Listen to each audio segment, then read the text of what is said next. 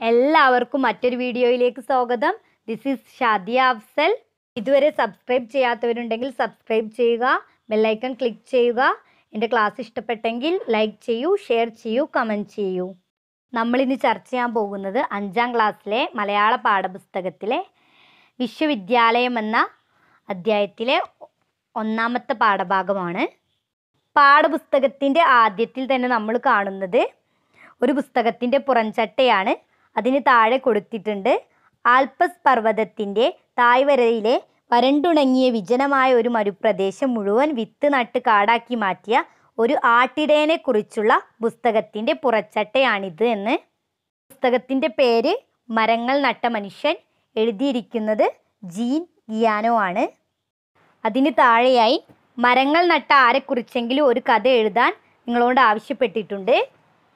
അടുത്തതായി വൃക്ഷത്തെ സ്നേഹിച്ച ബാലൻ. ബാലചന്ദ്രൻ എന്റെ അനുജന്റെ മകനാണ്. കുട്ടിക്കാലം തുടങ്ങി വൃക്ഷങ്ങളോണ്ടും ചെടികളോണ്ടുമെല്ലാം അവന് വളരെ വാത്സല്യമായിരുന്നു. തറയിൽ എന്തെങ്കിലും മുളച്ചു വരുന്നത് കണ്ടാൽ വളരെ നേരം അവനത് സൂക്ഷിച്ചു നോക്കിക്കൊണ്ട് നിൽക്കും. ഏതോ ഒരു വലിയ ശാസ്ത്രതത്വം കണ്ടുപിടിക്കാൻ ശ്രമിക്കുന്നത് പോലെ. ഒരു ദിവസം കാലത്ത് ഞാൻ പത്രം വായിച്ചു കൊണ്ടിരിക്കുകയായിരുന്നു ഏതോ ഒരു പ്രധാന വാർത്തയിൽ എന്റെ മനസ്സ് ഏകാഗ്രമായി നിൽക്കുകയാണ്. ബാലചന്ദ്രൻ ഓടിവന്ന് കൈക്ക് പിടിച്ച് എന്നെ തോട്ടത്തിലേക്ക് കൊണ്ടുപോയി. അവിടെ ഒരു ചെറിയ വൃക്ഷം ചൂണ്ടിക്കാണിച്ചുകൊണ്ട് എന്നോട് ചോദിച്ചു വല്യച്ച ആ മരത്തിന്റെ പേരെന്താണ്?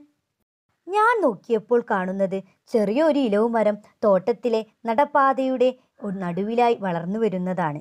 ബാലചന്ദ്രൻ തെറ്റിദ്ധരിച്ചാണ് എന്നെ അങ്ങോട്ട് വിളിച്ചു കൊണ്ടുപോയതെന്ന് ആദ്യം ഞാൻ സംശയിച്ചു. അത് ശരിയല്ല. ആ ചെറിയ മരം മുളച്ചു വന്ന കാലം മുതൽ അവൻ അതിൽ ശ്രദ്ധിക്കുകയായിരുന്നു.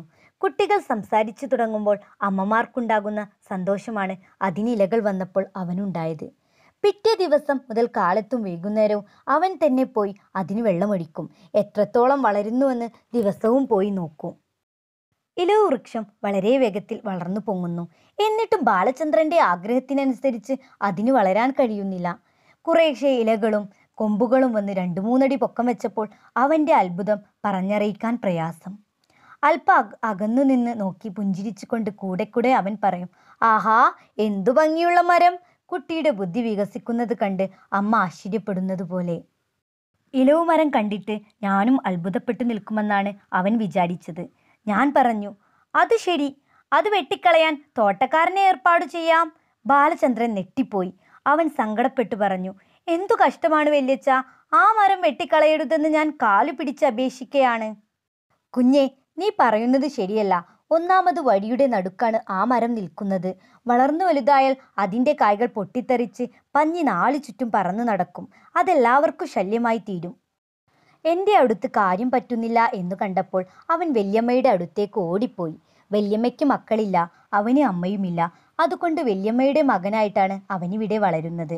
അവരുടെ മടിയിൽ കയറി കഴുത്തിൽ കെട്ടിപ്പിടിച്ചിരുന്നു കൊണ്ട് അവൻ പറഞ്ഞു വല്യമ്മേ വല്യച്ഛനോട് പറയണം ആ ഇലവ് മരം വെട്ടിക്കളയരുതെന്ന്. പണി ഏതായാലും പറ്റി.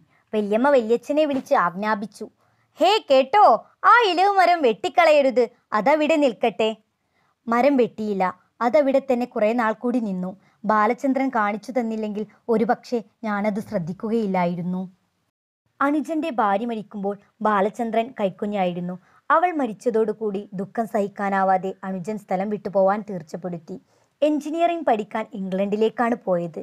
അന്നു മുതൽ അവന്റെ കുട്ടി എന്റെ വീട്ടിൽ വന്ന് വല്യമ്മയുടെ മടിയിൽ സ്ഥാനം പിടിച്ചു. പത്തു കൊല്ലം കഴിഞ്ഞ് അനുജൻ മടങ്ങി വന്നു. ബാലചന്ദ്രനെയും ഇംഗ്ലണ്ടിലേക്ക് അയക്കണമെന്ന് അവൻ തീർച്ചപ്പെടുത്തി.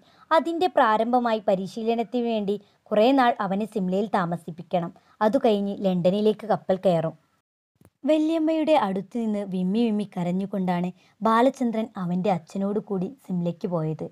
അവന്റെ വേർപാടോടെ ഞങ്ങളുടെ വീട് ഉറങ്ങിപ്പോയി. ഇലവുമരം വീണ്ടും വളർന്നു വലുതായി. അതിന്റെ കായ്കൾ വിളഞ്ഞു പൊട്ടി നാലു ചുറ്റും പഞ്ഞി പറന്നു. എല്ലാവർക്കും അതൊരു ഉപദ്രവമായി തീർന്നു. പോകുന്നവരും വരുന്നവരുമെല്ലാം ഇതെന്തിനിങ്ങനെ നിർത്തിയിരിക്കുന്നു എന്ന് എന്നോട് ചോദിക്കും. ഉപദ്രവം സഹിക്കാൻ വയ്യാതായപ്പോൾ അത് വെട്ടിമുറിച്ച് കളയാൻ ഞാൻ ഏർപ്പാട് ചെയ്തു. കുറേ ദിവസം കഴിഞ്ഞ് സിംലയിൽ നിന്ന് ബാലചന്ദ്രന്റെ ഒരു കത്ത് അവന്റെ വല്യമ്മയ്ക്ക് കിട്ടി. സ്വന്തം കൈപ്പടയിലാണ് കത്ത് എഴുതിയിരിക്കുന്നത്. എനിക്ക് ഇലവുമരത്തിന്റെ ഒരു ഫോട്ടോ എടുത്ത് അയച്ചു തരണം. ഇതാണ് കത്തിലെ ഉള്ളടക്കം. ബിലാത്തിക്ക് പോകുന്നതിന് മുമ്പായി വല്യമ്മയുടെ അടുത്ത് വന്ന് യാത്ര ചോദിക്കണമെന്ന് അവന് ആഗ്രഹമുണ്ടായിരുന്നു. ഇലവ് മരവും ഒന്ന് കാണണം. രണ്ടും സാധിച്ചില്ല. അതുകൊണ്ടാണ് തന്റെ കൂട്ടുകാരന്റെ ഫോട്ടോ എടുത്തയക്കണമെന്ന് ആവശ്യപ്പെട്ടിരിക്കുന്നത്. അതുകൂടി ബിലാത്തിക്ക് കൊണ്ടുപോകണം. അവൾ എന്നെ വിളിച്ചു പറഞ്ഞു. ഹാ കേട്ടോ. ഒരു ഫോട്ടോഗ്രാഫറെ വിളിച്ചു കൊണ്ടുവരണം. ഇപ്പോൾ തന്നെ വേണം. ഞാൻ ചോദിച്ചു. ഉം എന്തിനേ? ബാലചന്ദ്രന്റെ കത്ത് വായിച്ചു നോക്കുന്നതിന് വേണ്ടി അവൾ എന്റെ കൈവശം തന്നു. കത്ത് വായിച്ച ശേഷം ഞാൻ പറഞ്ഞു ഓ ആ ഇലവ് മരം മുറിച്ചു കളഞ്ഞിട്ട് ദിവസങ്ങൾ എത്രയോ കഴിഞ്ഞു. അവന്റെ വല്യമ്മ രണ്ടു ദിവസം ആഹാരം കഴിച്ചില്ല. കുറേ ദിവസത്തേക്ക് എന്നോടൊന്നും മിണ്ടിയതുമില്ല.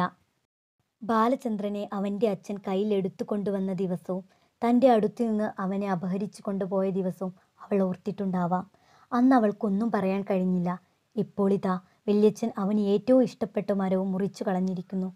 ജീവിതം മുഴുവൻ അവൾക്ക് മറക്കാൻ കഴിയാത്ത സംഭവങ്ങളാണിവ. അവളുടെ ജീവിതത്തിന്റെ ലക്ഷ്യം തകർന്നു പോയിരിക്കുന്നു. എല്ലാവർക്കും കഥ ഇഷ്ടമായോ? കവിയും നോവലിസ്റ്റും കഥാകാരനും തത്വചിന്തകനുമായ രവീന്ദ്രനാഥ ടാഗോറിന്റെ കഥയാണ് വൃക്ഷത്തെ സ്നേഹിച്ച ബാലൻ. വൃക്ഷത്തെ ജീവന് തുല്യം സ്നേഹിച്ച ബാലചന്ദ്രന്റെ കഥയാണ് നമ്മളിവിടെ പഠിച്ചത്. പ്രകൃതിയെ സ്നേഹിക്കുന്നവർ എവിടെയായാലും അത് തുടരുമെന്ന വലിയ പാഠമാണ് രവീന്ദ്രനാഥ ടാഗോർ ഈ കഥയിലൂടെ നമുക്ക് നൽകുന്നത്. ഇനി നമുക്ക് ചോദ്യോത്തരങ്ങളിലേക്ക് കടക്കാം. വായിക്കാം കണ്ടെത്താം. വല്യച്ഛൻ എന്തു പറഞ്ഞപ്പോഴാണ് ബാലചന്ദ്രൻ നെട്ടിപ്പോയത് അതിന്റെ കാരണം എന്തായിരിക്കാം? വല്യച്ഛൻ എന്തു പറഞ്ഞപ്പോഴാണ് ബാലചന്ദ്രൻ നെട്ടിപ്പോയത് ഇലവ് മരം വെട്ടിക്കളയാൻ തോട്ടക്കാരനെ ഏർപ്പാട് ചെയ്യാം എന്ന് പറഞ്ഞപ്പോഴാണ് ബാലചന്ദ്രൻ നെട്ടിപ്പോയത് അതിന്റെ കാരണം എന്തായിരിക്കാം? അവൻ ആ മരത്തിനെ അത്രമേൽ സ്നേഹിച്ചിരുന്നു. വല്യച്ഛൻ ഇലവ് മരം മുറിക്കാൻ തീരുമാനമെടുത്തത് എന്തുകൊണ്ട്? എന്തുകൊണ്ടാണ് വല്യച്ഛൻ ഇലവ് മരം മുറിക്കാൻ തീരുമാനമെടുത്തത്? ഒന്നാമത് ആ മരം ഇലവ് മരം നിൽക്കുന്നത് വഴിയുടെ നടുക്കാണ്. വളർന്നു വലുതായാൽ അതിന്റെ കായ്കൾ പൊട്ടിത്തെറിച്ച് പഞ്ഞി നാല് ചുറ്റും പറന്ന് നടക്കും. അതെല്ലാവർക്കും ശല്യമായി തീരും എന്ന് ചിന്തിച്ചത് കൊണ്ടാണ് വല്യച്ഛൻ ആ ഇലവ് മരം മുറിക്കാൻ തീരുമാനമെടുത്തത്.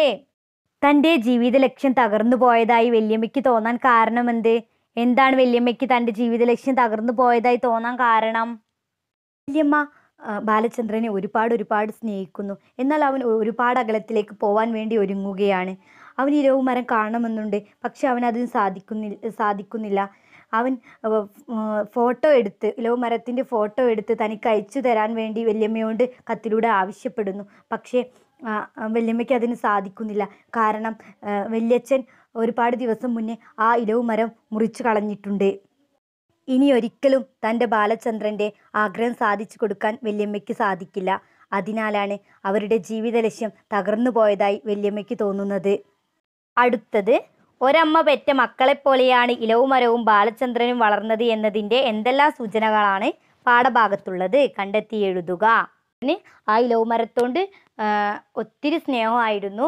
അതിനെ ഒരുപാട് പരിപാലിക്കുകയും രാവിലെയും വൈകിട്ടും പോയി വെള്ളം ഒഴിക്കുകയും അതിന്റെ വളർച്ച ഓരോ വളർച്ചയും ശ്രദ്ധിക്കുകയും ആ വള ആ ഇലവ് മരത്തിന്റെ ഓരോ വളർച്ചയിലും അവൻ സന്തോഷം കണ്ടെത്തുകയും ചെയ്യുമായിരുന്നു. ഒരമ്മ പെറ്റ മക്കളെപ്പോലെയാണ് ഇലവും മരവും ബാലചന്ദ്രനും വളർന്നത് എന്നതിന്റെ ഒത്തിരി സൂചനകൾ ഇതുപോലെ പാഠഭാഗത്തുണ്ട്. ഇലവും മരം മുള പൊട്ടി വളരുന്നതിന്റെ ആനന്ദം ബാലചന്ദ്രൻ ആസ്വദിക്കുന്നത് നിങ്ങൾ വായിച്ചു മനസ്സിലാക്കിയല്ലോ. അത് അവതരിപ്പിക്കുന്നതിന് കഥാകാരൻ ഉപയോഗിച്ച സവിശേഷ പ്രയോഗങ്ങൾ കണ്ടെത്തൂ. മരം മുളച്ചു വരുന്നത്. അതിനെങ്ങനെയാണ് കഥയിൽ പറഞ്ഞിരിക്കുന്നത്? ഏതോ ഒരു വലിയ ശാസ്ത്രതത്വം കണ്ടുപിടിക്കാൻ ശ്രമിക്കുന്നത് പോലെ ഇലകൾ വരുന്നതിനെയോ? കുട്ടികൾ സംസാരിച്ചു തുടങ്ങുമ്പോൾ അമ്മമാർക്കുണ്ടാകുന്ന സന്തോഷം. അതുപോലെയാണ് ഇലകൾ വരുമ്പോൾ ബാലചന്ദ്രൻ ഉണ്ടായിരിക്കുന്നത് എന്നാണ് കഥാകാരൻ പറയുന്നത്. ശാഖകൾ വികസിക്കുന്നതിനെയോ? കുട്ടിയുടെ ബുദ്ധി വികസിക്കുന്നത് കണ്ട് അമ്മ ആശ്ചര്യപ്പെടുന്നത് പോലെ എന്നാണ് കഥാകാരൻ പറഞ്ഞിരിക്കുന്നത്. ഇത്തരം സവിശേഷ പ്രയോഗങ്ങളാണ് കഥാകാരൻ ഉപയോഗിച്ചിരിക്കുന്നത്. അടുത്തത് ബാലചന്ദ്രന്റെ എന്തെല്ലാം സ്വഭാവ സവിശേഷതകളാണ് നിങ്ങളെ ഏറെ ആകർഷിച്ചത്? അവ എഴുതി നോക്കൂ. അവൻ അവരുടെ അടുത്ത് നിന്ന് പോയിട്ടും അവന് അതേ സ്നേഹവും ബഹുമാനവും വല്യച്ഛനോടും വല്യമ്മയോണ്ടും വൃക്ഷത്തോണ്ടും ഉള്ളതായിട്ട് നമുക്ക് കഥയിൽ കാണാം. എല്ലാവർക്കും എന്റെ ക്ലാസ് യൂസ്ഫുൾ ആയെന്ന് വിശ്വസിക്കുന്നു. ഇതുവരെ സബ്സ്ക്രൈബ് ചെയ്യാത്തവരുണ്ടെങ്കിൽ സബ്സ്ക്രൈബ് ചെയ്യുക ബെല്ലൈക്കൺ ക്ലിക്ക് ചെയ്യുക. എന്റെ ക്ലാസ് ഇഷ്ടപ്പെട്ടെങ്കിൽ ലൈക്ക് ചെയ്യൂ ഷെയർ ചെയ്യൂ കമന്റ് ചെയ്യൂ.